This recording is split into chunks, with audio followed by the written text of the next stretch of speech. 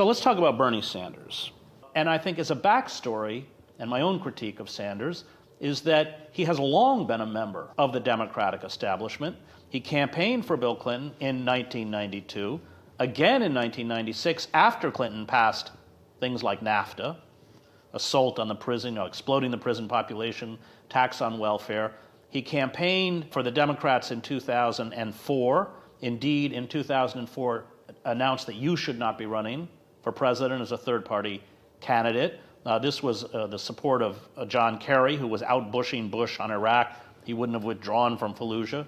Uh, Bernie has supported in his voting record, despite his rhetoric, almost all military appropriations bills, uh, funding for the NSA, funding for the CIA. Uh, there is not a pro Israel resolution coughed up by the Israel lobby and AIPAC he hasn't supported. I don't see how, given the fact that we are being disemboweled by the war industry. Seymour Melman was onto this a long time ago. Uh, we can't talk about creating uh, an egalitarian, a socialist society if we don't confront the war machine, and he won't confront it. I would like to know how you view his candidacy and what this will mean, especially given his long complicity with the Democrats, and he's been the main force behind building a third party candidacy in, in Vermont. He never has supported, and there's powerful or strong grassroots movements that would like to build a third party in, in Vermont. Um, what this means for progressive, what, what this means for us, what it means for you know, those of us who would like to confront corporate power. Well, Bernie Sanders has been around a long time. He can see beyond the next hill or around the next corner. And I think I know what his game plan is. Basically, he wants to arouse public opinion in a progressive manner domestically. He's got real problems with uh, military and foreign policy uh, positions that he has not taken progressively.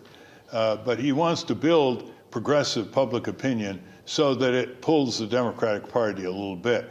But he doesn't want to do this in any way that can take a vote away from the nominee, uh, if you, if you say Hillary Clinton.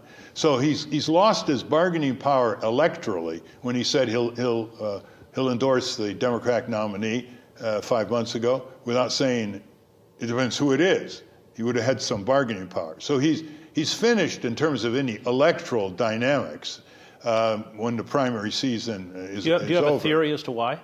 Yeah, uh, but but his job now, as he sees it, is to mobilize and focus and elevate the but, but enthusiasm it, of progressive minded people. But here's where the contradiction is. If you don't go into the electoral arena to win, and you got to go after the, the, the leader in, in, in, the polls, Hillary Clinton, you don't have to do it nast, nastily, but you, she's very vulnerable. A Militarist, a Wall Street, a corporatist, the worst on her record. She said, uh, annihilate the Iranian people, the right. Iranian, uh, uh, if they have a nuclear weapon. I mean, annihilate an entire people, 75 million people. And she said in her uh, last answer to her question on the first debate uh, recently, uh, when they said, What are the enemies you're most proud of? And she put the Iranians. Right. imagine if she had said, you know, the Israelis or it's just amazing how she can get away with stuff like that. Here's the contradiction, Chris. If he doesn't go electorally in a serious way to win, then he's setting up millions of Americans yes. and young Americans for a huge morale collapse. I know. When in April or May he appears on the stage with Hillary Clinton, if she's the nominee and the winner of the primaries, and he endorses her. And then he is folded into the whole Clinton war Wall Street machine. Right. He goes back to the Senate as a hero. He has a little more influence in the Senate. Maybe he'll get two senators to sign on to his single payer bill. He couldn't get one other senator to sign on to his he single payer bill. bill. He voted for Obamacare, though. Yeah. Uh, and he has a huge mailing list. Uh, and uh, he continues his merry way. So he, he's got to be called to account here look, Bernie, you've got to go all the way. You've got to take it to November. Uh, and he says, no, I'm not going to take it to November. I'm not going to be responsible uh, for the defeat of the Democratic well, Party. He's part of the Democrat. He sits in the caucus. Yeah. He has seniority. The Democrats, in a quid pro quo, do not mount serious candidates against him yeah. in Vermont. And in return, he doesn't support third party candidacies, including your own. And here's, here's the nub the Democratic establishment and their political operatives are amused by Bernie mm-hmm, Sanders mm-hmm. day after day. They're not f- fearful of him, they're amused. Why are they amused? Because he's given up his bargaining power and says he's going to nominate, he's going to support the Democratic nominee. He's not going to go independent. He's not going to support a third party.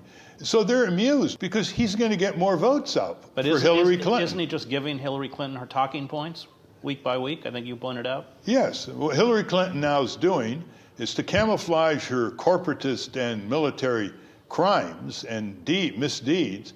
She basically is uh, learning how to mimic uh, Bernie Sanders with his language. So she is now for a minimum wage increase. Well, we couldn't get her to come out for a minimum wage increase sponsored by the Democrats, $10.10 an hour, until May of last year. And, and we had to get women's groups and children's protection groups to again and again appeal to her. Well, she opposes the TPP, sort of. Yeah. You know, after largely being one of the engines behind its creation. behind NAFTA, behind the Yeah. World Trade Organization. She supported the deregulation of Wall Street by her husband, Bill Clinton.